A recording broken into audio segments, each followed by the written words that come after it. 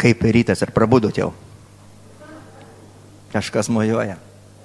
Tikiu, kad viešpas surenka mus tam, kad tikrai prabustum. Prabustum širdžių gelmėse, tik ačiū vyram. Ir aš suprantu, kad jiem būna vis iššūkis, ilgai neleidžiam, o tada sakom, pirmin. Ir kada reikia pirmin, pasirodo, reikia būti pasiruošus ir netaip paprasta. Ir tikrai žinau, kad kai kurie galvoja, aš išeičiau, tai parodyčiau. Kada išeini čia į priekį, tai, nu, nelabai ką daug gali ir parodyti, kartais bandai. Jeigu sąžiningai aš taip galvoju, tiek metų jau tikrai pamokslauju ir ne, ne, ne kartą būna per savaitę. Ir kiekvieną kartą, kada aš išeinu, ateina sekmadienio rytas, aš visada lengvą stresą tokį jaučiu, galvoju, viešpatė Dieve, tai ką man iki gyvenimo pabaigos, tai mane lydės. Žinot, toks, mano kūnas, jisai turi tam tikrus dalykus, jis išduoda viskas. Aš jaučiuosi ramybė kaip upė, džiaugsmas kaip jūra, problemų nėra, bet kūnas jisai parodo, kad kažkas jame yra. Atsimenu, jaunas buvau prieš egzaminus, būdavau, ateidavo tas toks pergyvenimo pasireiškimas, žiūriu, ateina ir dabar. Ir, ir galvoju, ačiū tau Dieve. Neleidžia užmygti. Nes vieną dieną stosim viešpaties visą galio Dievo akivaizdoje. Ir tai nėra religija, tai nėra apėgos, tai nėra formos, prie kurių mes kartais priprantam ir galvojam, kad ta forma tampa šventa. Bet viešpas, kaip gėdojom, yra šventas. Ir iš tikrųjų jisai nori keisti tave ir mane.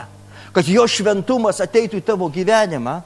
Ir ne kažkas tai keletą kažkokių tai momentų, bet kad pats viešpats Jėzus atėjęs į tavo širdį. Jisai būtų tavo šeimininkas, gyvenimo šeimininkas. Kad tu tai atliktum laisvą valią. Ne tik iš pareigos religinės, bet laisvą valią. Džiaugsminga širdimi. Vieną dieną sugebėtum pasakyti, tu mano viešpas. Vadovauk mano gyvenimui. Vesk mane iš pergalės į pergalę. Ir aš tikiu, tam mes susirenkam sekmadienį.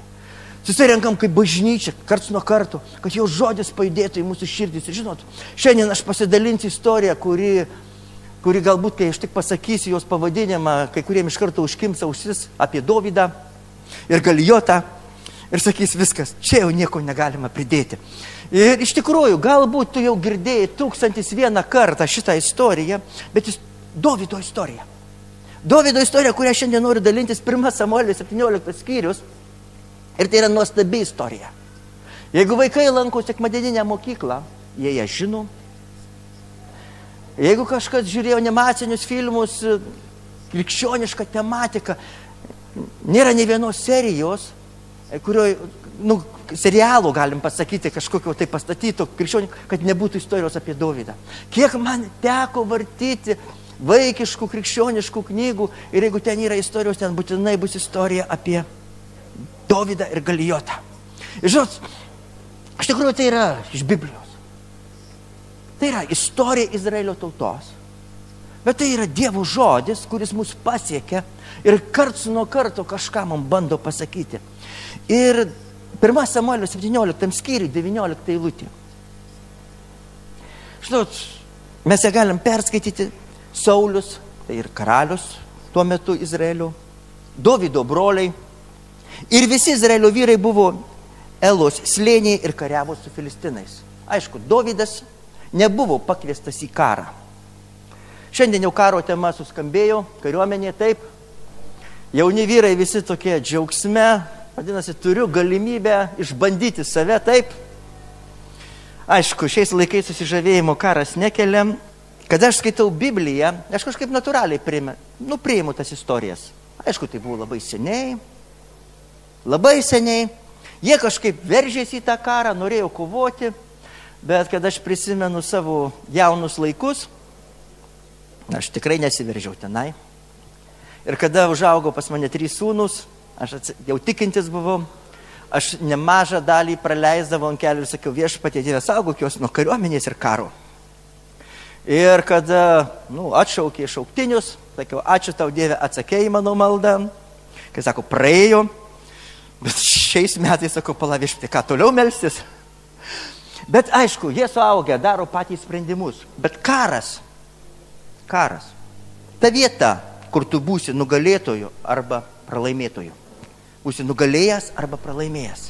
Ir vieta, kur mirtis ir gyvenimas čia pat.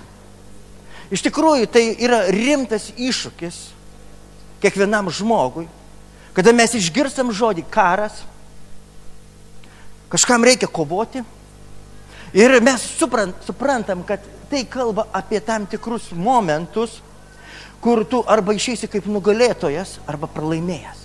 Ir čia mes ateiname Biblijoje, istorijos jos yra atneštos, jos aprašytos ir jos kalba į mūsų gyvenimą, kalba apie karą, kalba apie kovas, apie pergalę ir pralaimėjimą.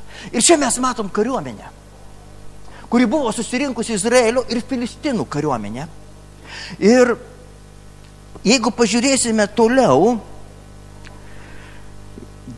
20 eilutė mes atrandame pačioj pabaigoje, kada Dovydas atvyko į tą vietą, kur tėvas jį pasiuntė pas brolius, pas šimtininkus, nunešti dovanų galbūt, kad palankesnis būtų, nežinau aš tų istorinių momentų, bet tėvas siūsdamas Dovydą pas brolius, kurie buvo kare, jis jiem įdėjo, tie, kurie buvo aukščiau už brolius, šimtinikam įdėjo ypatingų dovanų.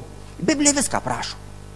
Ir čia mes atrandame, kada ateina Dovydas, sako, kariuomenės buvo išsirikiavę būsios kautinėms ir šaukiai prieš mūšį.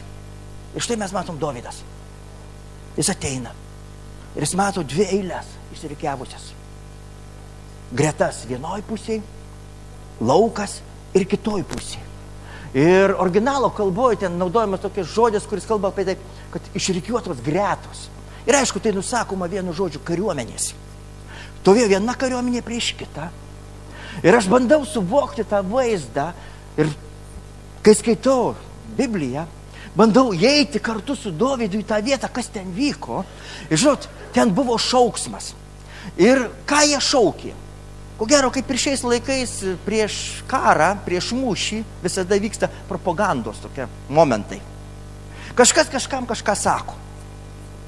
Ir žinot, Kaip dažnai mes atsiduriam karo zono ir tu kartais girdi, kad kažkas paima ir sako, tu nieko negali. Iš tavęs nieko neišeis, tau niekas nepavyks. Ir aišku, visada priešas, prieš nugalėdamas arba prieš ateidamas į kovas prieš tave, jis visada kalbės į tavo gyvenimą. Aišku, aš girdėjau ir kitą pusę, nu tokia krikščioniška, charizmatinė, ir aš pats esu girdėjęs ir tokia, sakau, velniau tu kvailys. Žinot, Žinot, tuo metu, kada atėjo Dovydas, abi pusės šaukė. Ten parašyta. Jie vieni kitiem išsakė komplimentus. Ir ko gero tie komplimentai buvo atitinkami. Filistinai sužinojo visą tiesą apie save, Izraelitai iš Filistinų sužinojo visą tiesą apie save. Tai vyko ta tokia, toks momentas ir tai, štai ateina Dovydas. Šot, ir kartais mes kaip krikščionys pašūkaujam. Mes kažką kalbam, bet ar už to yra kažkas, kad svoris. Iš tikrųjų yra kažkokia jėga už to, ar tai turi prasme ir kiek toli tai pasiekia tai, ką tu šauki, arba tai, ką tu kalbė. Štai yra va, truputį va šita pirma dalis tos istorijos, kurią aš noriu dalintis, nes tuo metu mes matome, kad štai, visi kalbėjo kažką ir mes atrandame, Dovydas ateina pas brolius, jie stovi toje eilėje ir kiuotėje Jie taip pat šaukia. Dovydas tai, ką tėvas jam įdavė, atneša. Sako, broliai, aš čia. Jisai buvo jaunas. Visi vyrai buvo pašaukti, jis nebuvo pašauktas. Bet jisai buvo pasiūstas tėvo tenai. Ir jis kada atėjo, jisai pasveikino savo brolius, galbūt jam patiko, kaip jie stovi reikiuoti, kaip jie šaukia. Žinot, bet tuo metu atsitiko kažkas atėjo kas? Glijotas. Ir toliau vaizdas truputį keičiasi. Kada išėjo galijotas, jis išėjo tyčiotis, mes apie tai skaitome iš Izraelio ir mes atrandame kelias eilutes. Kada išėjo galijotas, Dovydas tai girdėjo, tai kaip jis tyčios iš Izraelio ir ten toliau parašyta 24 eilutė. Izraelio vyrai pamatė tą vyrą, bėgo nuo jo ir labai bijojo. Panika ir baimė atėjo į gretas. Praktiškai tos gretos tos linijos, kurios buvo išrikiuotos, kas su jomis atsitiko, jos pakriko. Atėjo pakrikimas į tą vietą. Ir štai mes matome, Filistinų kariuomenė, išeina iš Filistinų pusės galijotas, iššūkis, kuris, kai sako, perviršijo visų susirinkusių izraelitų galimybės, jėgas ir tai vyko ne vieną dieną ir negana to dar tyčios ir žemino. Aš noriu pasakyti, velnės ateina tyčiotis, ateina pažeminti, paniekinti. Jis visada tave provokuos, kad tu išeitum savo jėgą, bet šitą istoriją apie tai, kad Dovydas pajudėjo ne savo jėgą, bet Dievo jėgą.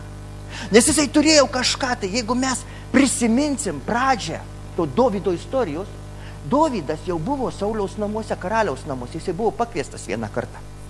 Jisai buvo pakviestas kaip muzikantas, ant kurio yra patepimas šlovinti viešpatį.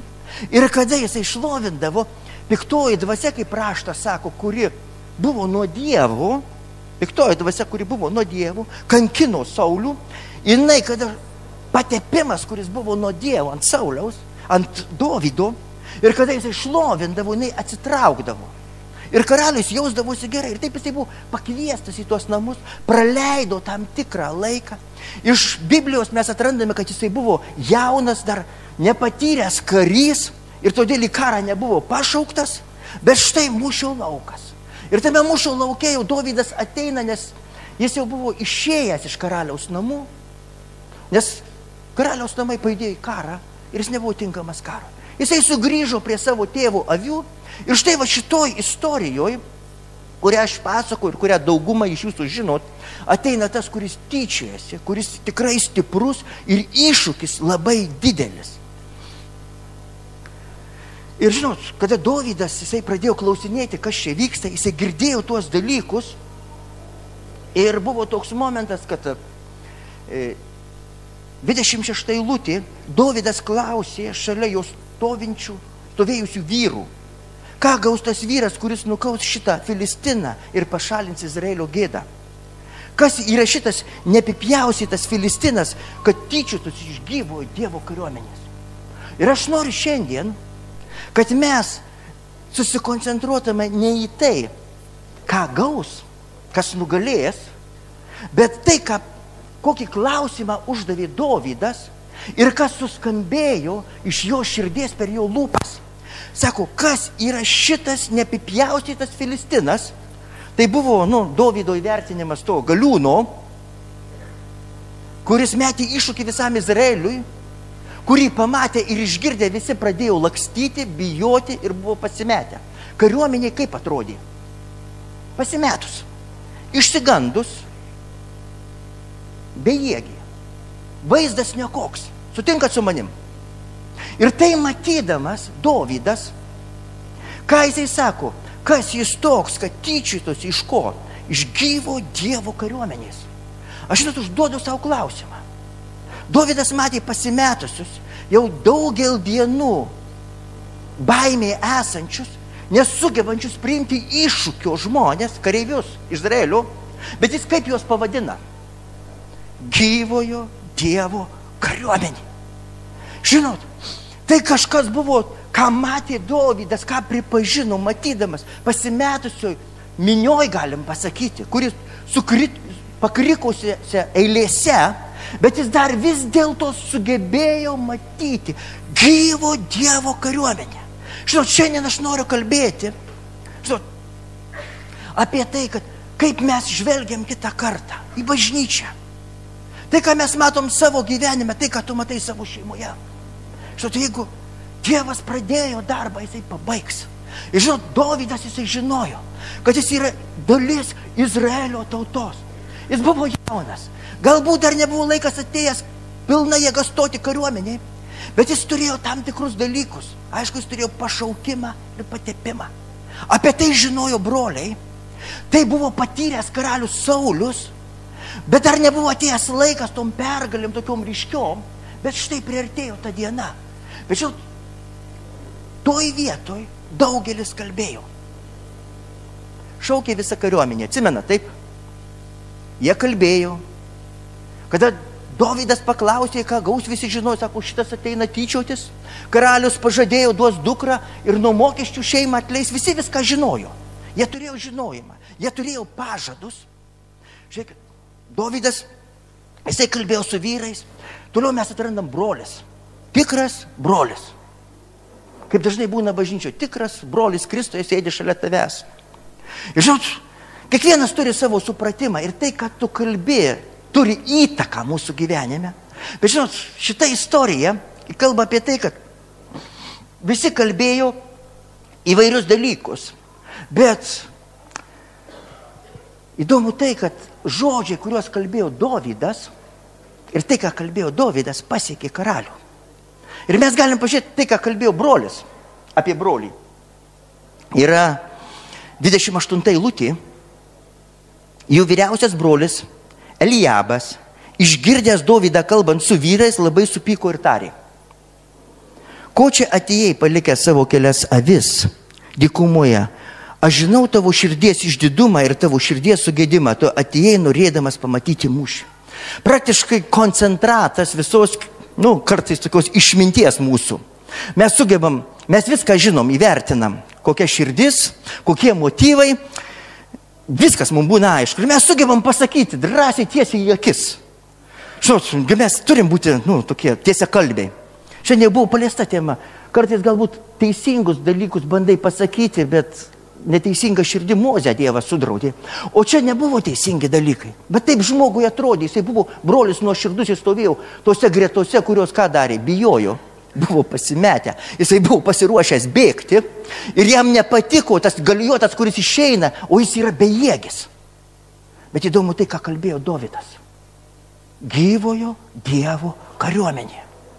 Žinot, aš kada skaičiau šitas eilutės, sakau viešpatė Dieve. Žinot, tai, ką pasakė brolis, Ką atsakė Dovydas, 29 eilutė. O Dovydas atsakė, ką aš padariau? Ar tai nėra tik žodžiai? Tai, ką kalbėjo brolis. Tie žodžiai pasiekė Dovydo ausis, bet galiu pasakyti, nepasiekė Dovydo širdies. Tai tik žodžiai. Šis šūkavimas buvo žodžiai Galijotas, ką kalbėjau, už to stovėjo reali fizinė jėga, visi matė ir tai turėjo svorį ir atnešė paniką. Negali nereaguoti, nesiskaityti su realia jėga arba realia grėsme savo gyvenime. Bet žinot, kur buvo skirtumas? Kiek toli pasiekė tavo žodžiai? Tai, ką tu kalbi. Dovido žodžiai pasiekė karalių, Saulių.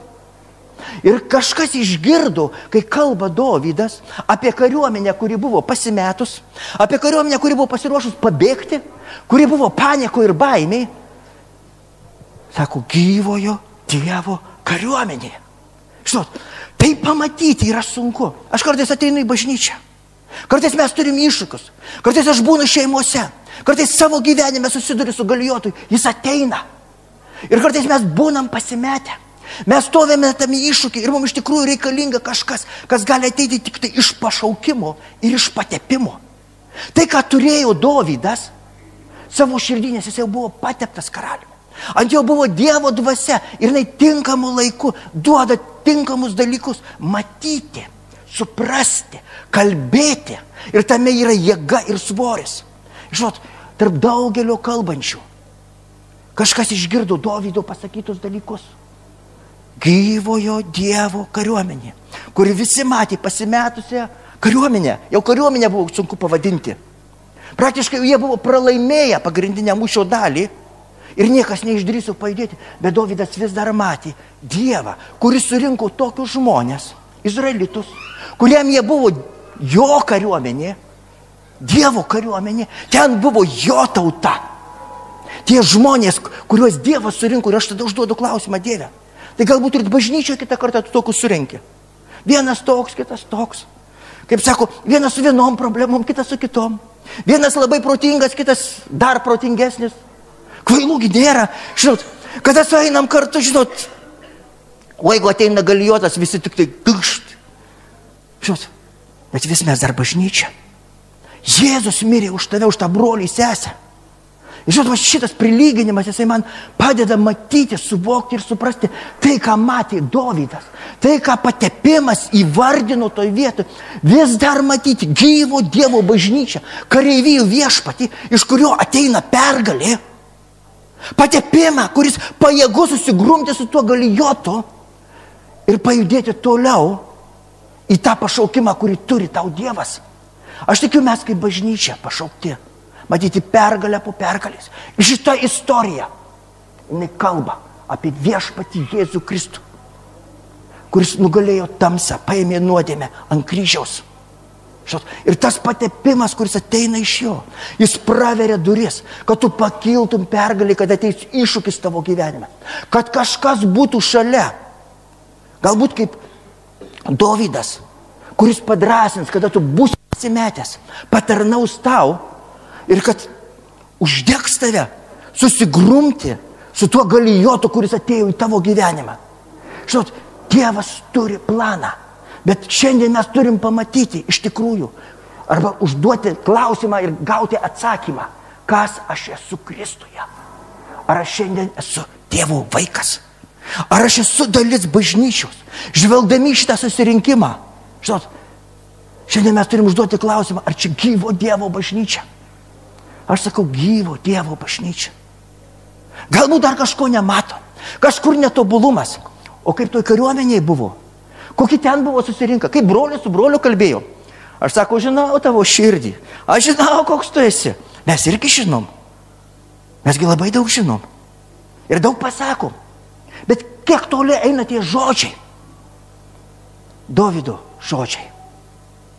Požiūris. Sugebėjimas matyti. Vis dar matyti Dievo darbą. Dievo pradžią. Tai padėjo matyti pabaigą matyti pergalę, matyti krentantį galijotą.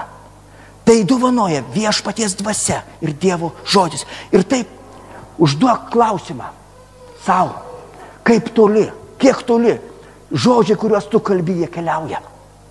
Ar jie sustoja kažkur tai kaip tušti žodžiai? Nes Davidas labai aiškiai pasakė, ar tai nėra tik žodžiai. Nes kur skirtumas buvo tarp to, ką kalbėjo visi kiti ir Davidas. Dievo dvasia, patepimas, šventosios dvasios buvimas, apreiškimas, kuris ateina iš viešpatės. Viskam yra savo laikas. Bet jeigu atversi šiandien savo širdį, jeigu leisi Dievo dvasiai paliesti tave, jeigu paprašysi, kad Jėzus Kristus kaip viešpas ateitų į tavo gyvenimą, kad tavo širdis būtų pripildyta jo žodžio, jo dvasios, kad tu vieną dieną sugebėsi pasakyti, Jėzau, vesk mane, man reikia tavęs. Tai buvo Davido širdį. Ir jis matė tos dalykus. Mes skaitom apie tokias pergalės, kuria, kuriomis sunku patikėti, bet pergalė buvo iš Dievo. Ir kada karalius Dovydas, kur karalius Saulis, atsiprašau, pasikvietė, pasikvietė Dovydą pas save, žinot, Dovydas, jisai labai, labai aiškiai buvo paklaustas, tuoj surasi šitą eilutę.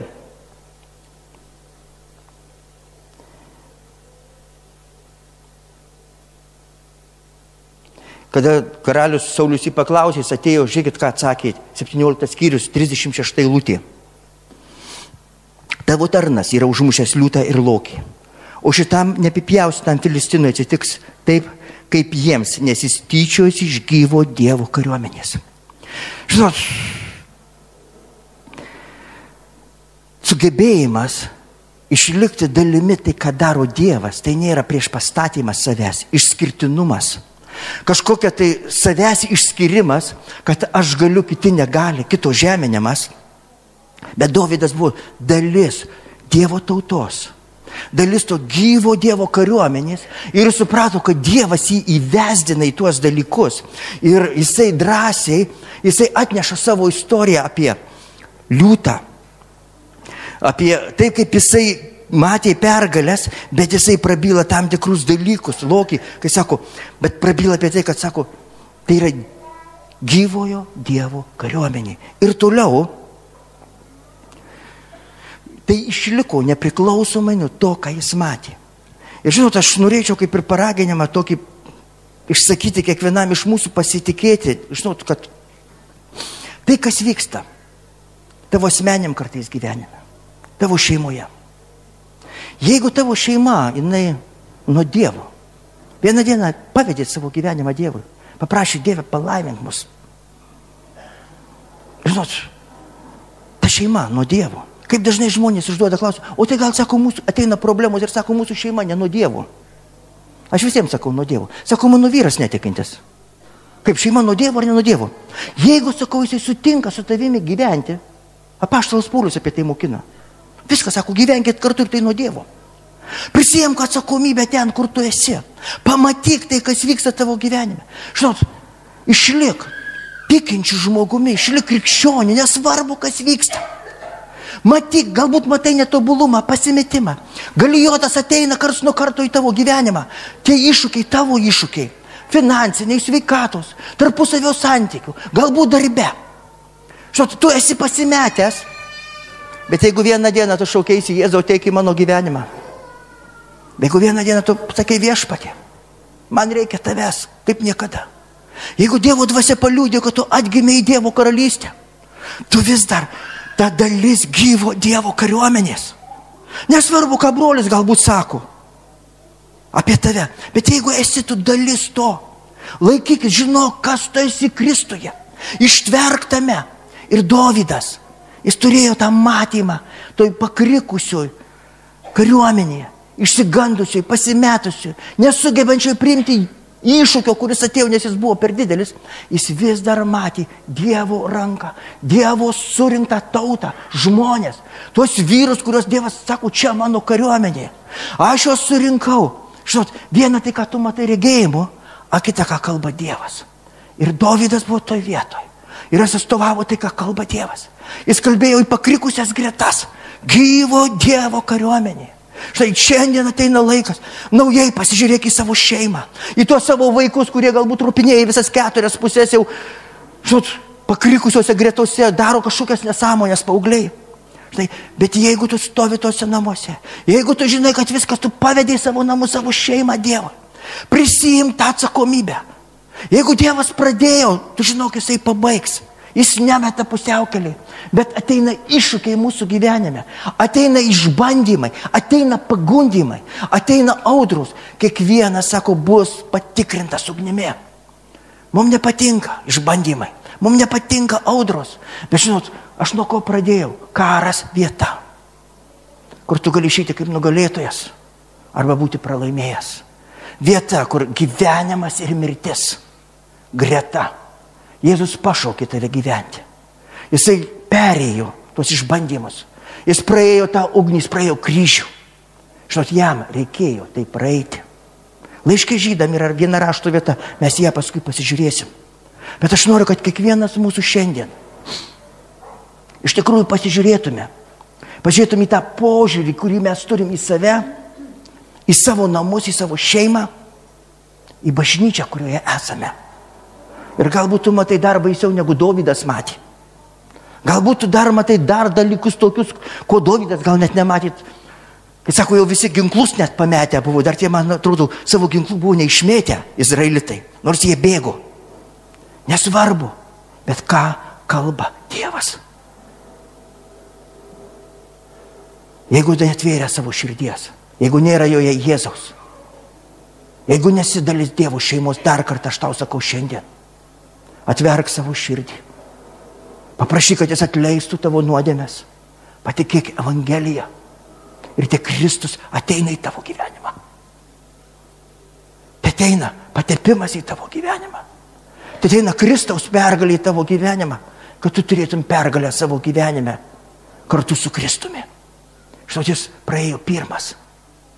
Jis paliko pėdas, jis paliko tą taką. Jis sako, štai aš einu prieki. Numirti ant kryžiaus už tave. Paimdamas visas tavo nuodėmės, visą tą neišmanimą, visą purvą. Jis praėjo prieki. Ir sako, jis atsisuka kiekvieną kartą ir žiūri tau į tavo širdies akis. Ir kviečia, sek paskui mane. Šiandien sako, pradėk, eik paskui mane. Aš praėjau ir tu praeisi. Aš nugalėjau ir tu nugalėsi. O jeigu kažko nesupranti, skaityk vaikišką istoriją ir nelabai vaikišką apie Dovydą ir Galijotą. Ir tai pranašiškai kalba apie pergalę, apie patepimą, kuris ateina. Nes tai, kad skirtumas buvo, tai, ką kalbėjo Dovydas ir kad jo žodžiai pasiekė karalių, patepimas, kuris buvo jame. Kitas požiūris į tai, kas buvo aplinkui, visą, ką matė žmonės. Žinot, aš, aš skaitydama šitą istoriją sakau, Dieve. Visi matė pasimetusią kariuomenę, bet tu matė gyvo Dievo kariuomenę, tai buvo tavo kariuomenė. Ir buvo vienas jaunuolis, kuris vis dar matė gyvo Dievo kariuomenę. Aš noriu matyti bažnyčią. Aš noriu matyti Dievo šeimas, Dievo brolius, sesės, Dievo vaikus. Tuos, kurie šiandien kartu čia. Ir ne tai, kas tik tai vien išorėje, bet tai, kas yra dvasio širdies gelmėse, iš Kristaus gyvenančio mumise. Ir tai vedė juos toliau iš pergalės į pergalę. Žinot, būti dalimi to, ką daro Dievas. Aš noriu savo šeimoje, pirmiausia savo gyvenime. Būti dalimi to, ką daro Dievas. Prieš 25 metus daugiausiai pradėjau darbą. Dideliai mėšlo krūvoje, šiukšlinė, chaose. Bet jis kažkokiu būdu atėjo. Atėjo į mano gyvenimą. Atėjo vieninteliu tikslu - ištraukti iš tamsos, iš velnio valdžios, iš, viso, iš visokių tamsybių jėgų. Nedaug aš žmonių sutikau savo gyvenime, už kuriuos meldies ir jie skraido, biškin virš žemės pakyla, kuriuos krato, iš kurių putos eina. Aš esu matęs tokius dalykus. Bet tai, kas prasidėjo, nuo ko prasidėjo, prasidėjo tai mano gyvenime. Iš tos didžiausios tamsos jis paėmė mane ir ištraukė. Jis žinojo, kaip mane papurtyti, kad visi biesai išeitų. Žinot, ne mano tobulumas, bet šventosios dvasios jėga. Tie 25 metai. Kars nuo karto mane atveda prie kryžiaus, padeda nusižeminti, atverti širdį ir paprašyti Jėzau. Man reikia tavęs kaip tą dieną, kad aš atidaviau savo gyvenimą tau. Tos kraujo apvalančios jėgos, kurie valo nuo visų nuodėmių, nuo visos tamsos ir dovanoja didžiausią gyvenime stebuklą viltį, kad galiu gyventi ir jis duoda naują dieną, naują gyvenimą. Žinot, tik Dievas tokį stebuklą daro. Kaip rytmetį tu prabundi būna nauja diena. Štai pavasaris, vėl naujas sezonas atėjo. Pas mus jau pasižiūrėjau, krumeliai sproksta. Galvoju, sakau, čia man atrodo, ar čia jau iš tikrųjų pirmos pavasario dienos ir gyvybėm prasiskirbia. Atrodo, visą žiemą tos šakelės tarsi palaušė jos kaip nudžiūvę atrodo. Atėjo akimirka. Ir vieš pasako, pradedam. Taip lygiai tavo gyvenime. Gal kažkas visai padžiūvė. Kažkas jau lūžinėja, kažkas bandė nulaužti. Kažkas pasakė, nieko nebus, tu pralaimėjai. Žinot, yra kažkas, kas ateina su patipimu. Kas ateina šventąją dvasę per Jėzaus kraują. Kad tu turėtum viltį. Ne tik šiai dienai, bet visai amžinybei. Žinot, dalykai iš Dievo.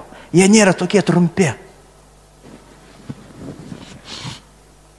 Žinot, mūsų gyvenimas ribotas. Aš nežinau, kiek ilgai man reikės po šią saulę vaikščioti.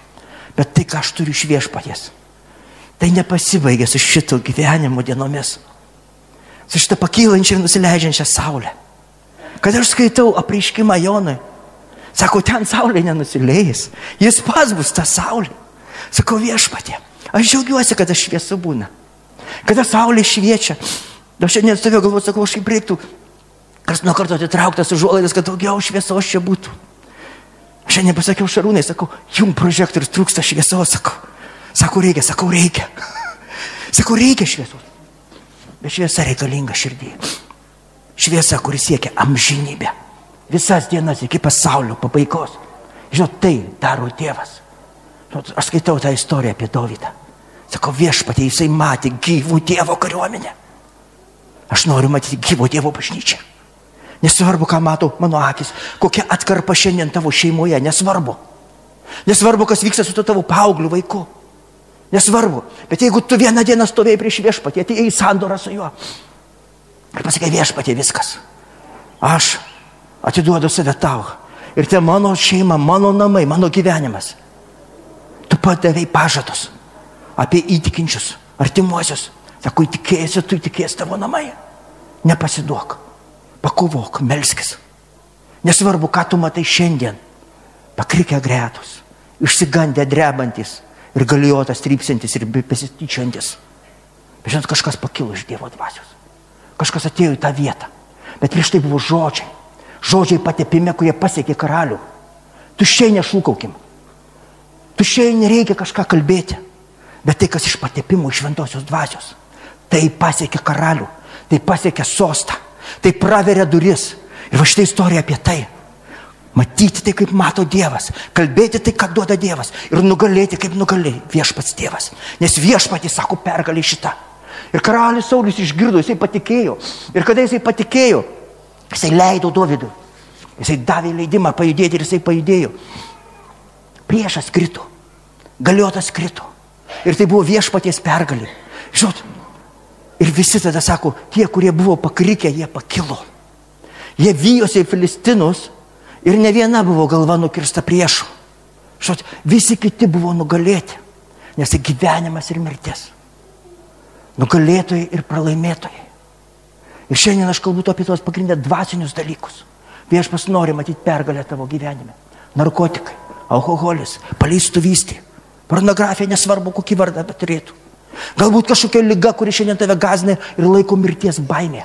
Viešpas trokšta, kad tu pakiltum pergaliai, pereitum kaip nugalėtojas, kad galėtum padėti kitam, kuris šiandien galbūt iššūkė ir tam tikrose dalykuose.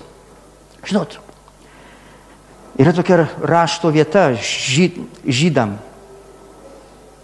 Nes tam, antras skyrius, dešimtai lūtį, nes tam, dėl kurio ir iš kurio yra viskas, Pridėrėjau, dedant daugybę vaikų į garbę, kentėjimais ištobulinti jų išgelbimo vadovą. Žinot, aš nenoriu gilių teologinių studijų šiandien pradėti, bet čia kalbam apie Jėzų Kristų. Kalbam apie Dievą Tėvą, kuris atsintė savo sūnų. Ir jisai kalba, sako, tą, kurį jisai paskyrė, kad nuvestų į pergalę tave jis turėjo būti ištobulintas. Žinot, aš užduodu klausimą, jisai buvo be nuodėmės.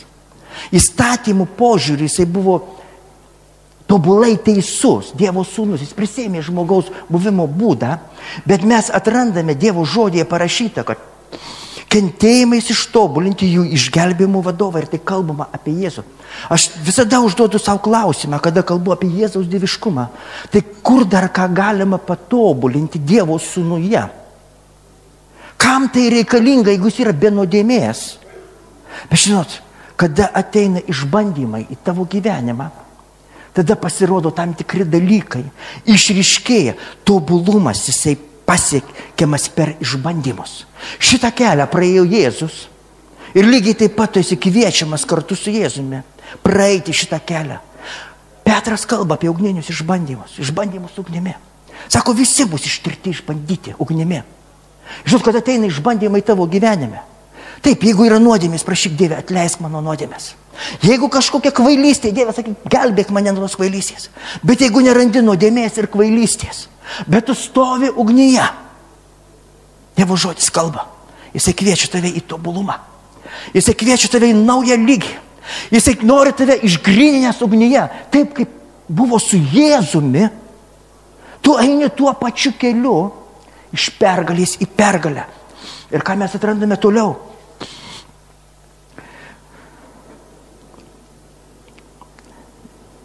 Žydam antram skyriui 17-18 eilutė. Todėl jis turėjo viso ko tapti panašus į brolius, kad būtų gailestingas ir ištikimas Dievui, vyriausiasis kuningas ir permaldautų už žmonių nuodėmės, pats iškentęs gundimus jis gali padėti tiems, kurie yra gundomi. Žinot, jam reikėjo iškentėti. Gailestingas ir ištikimas. Žinot, tai tokie du atributai, visavybės, kurios pabrėžtos laiškė žydam, kalbant apie Jėzų. Ir visada aš užduodu klausimą, o kaip aš? Kaip tu? Ar esi gailestingas? Tai buvo statomas kaip reikalavimas. Einant per ugnį, per išmėginimus, per mirtį už tave, prisimant tavo nuodėmės, išlikti gailestingu. Ir viešpatie žodis kviečia mus taip pat būti gailestingais. Bet antra dalis - ištikimas. Kada pasirodo ištikimybė? Kada jinai ištiriama? Per ką? Per laiką. Per konfliktus, per, per, per tarpusavio santykius, per pagundimus. Per tos dalykus reikia praeiti šeimose. Ir aš žinau, kad čia yra žmonės šeimose, kurie jūs einat per šitos dalykus. Bet jūs sako, bus ištirta jūsų santoka.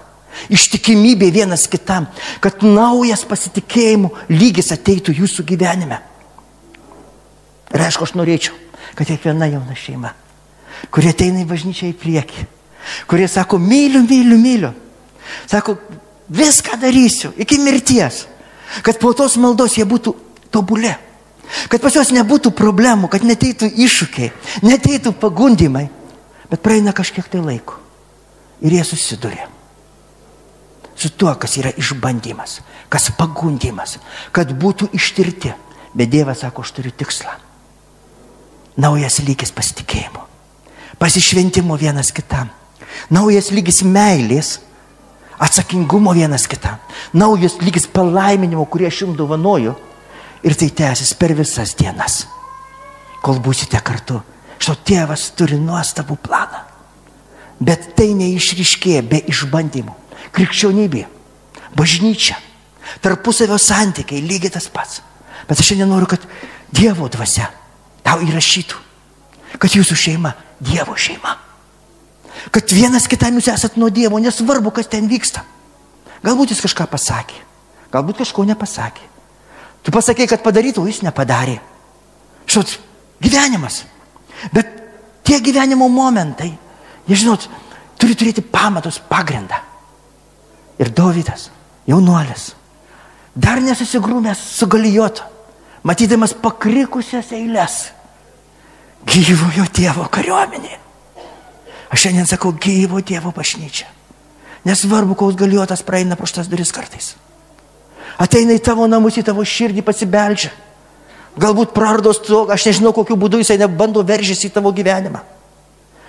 Tyčiasi, žemina. Galbūt visi pasimetė. Bet žinot, yra momentas, patepimas, kuris ateina šventąją dvasę. Žodis, kurį siunčia Dievo dvasia į tavo gyvenimą.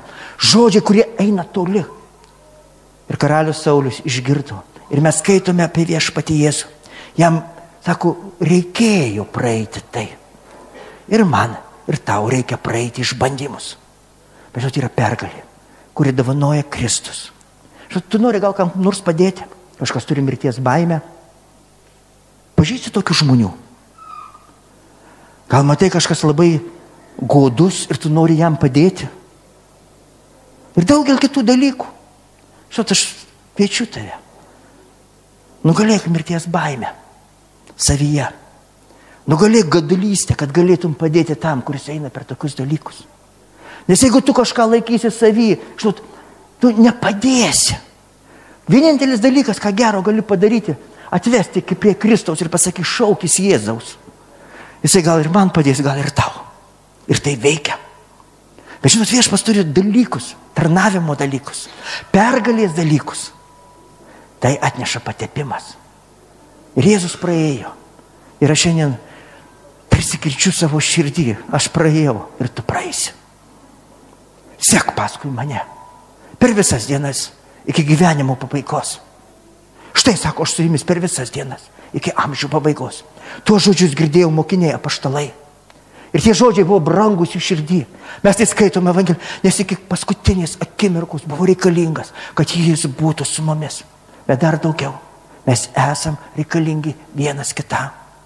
Ir kada visa kariuomenė pasimeta, viešpas turi vieną, kuris pakyla, kuris pajėgus surasti tą akmenėlį, kuris pakirs galijotą. Ir kaip dažnai mano gyvenime. Man reikalingi žmonės. Aš suklopiu ant kelių ir sakau, pasimelskite už mane. Man skauda. Meldžiausi visomis maldomis, kurias moku, nepadėjo. Broli sesė, gal pas tave tas akmenukas. Galbūt tas akmenukas, kuris tą giliotą, kuris atėjo mano gyvenimą, nukirs. Ir kada pergalį paėdės, tu džiaugsiesi ir aš džiaugsiuosi. Nes tai, kas atėjo į mano gyvenimą, tai, kas tada atėjo į Izraelio gyvenimą, buvo pažeminimas ir panieka. Bet pergalė ateina iš viešpatės. Dėl šiandien aš noriu palaiminti tave pergalę Jėzaus Kristaus iš Nazarito vardu. Pergalę, kurią dovanoja viešpats. Tai tokia Dovido istorija apie Dovydą ir Galijotą. Apie pergalę, kurią dovanoja. Todėl matyk save kaip Dievo vaiką. Matyk savo šeimą kaip Dievo šeimą. Nesvarbu, ką mato tavo akis. Dovydas matė keistus dalykus. Bet jam netrukdė ateiti pas karalių Saulį ir pasakyti, šitas nepipjausytas Filistinas tyčiojasi iš gyvų Dievo kariuomenės. Sako, čia viešpaties pergalė. Būk tuo, kurį viešpas pakelia tinkamu laiku. Pergalė, kurią jis dovanoja. Patepimas ir pašaukimas, kurį turi iš Dievo, te pakyla tavyje. Te veda tave. Ir padėk šalia esančiam matyti pergalę ateinančią iš Dievo. Amen. Moterys, neužmirškit, tarnavimas laukia. Vyram sakė, vaikus žiūrėti, žiūrėsiu, anūkės, nieko nepadarysi. Vykdysiu, kas pasakyta bažnyčioje, pagal raidę ir pagal dvasę. Sakė, žiūrėsiu, sakau, žiūrėsiu, ką darysi. Nieko blogo, viskas gerai. Jeigu sąžininkai mes su savo žmona, tai tengiamės daugiau mažiau kartu visur judėti, nors paskutiniu metu visai būna, bet su džiaugsmu aš išleidžiu. Meldžiu, kad kaiminė eitų kartu su ją. Ir tai viešpatie šlovė ateina į tą vietą. Todėl kviečiu stokim bažnyčią. Gyvo Dievo bažnyčią.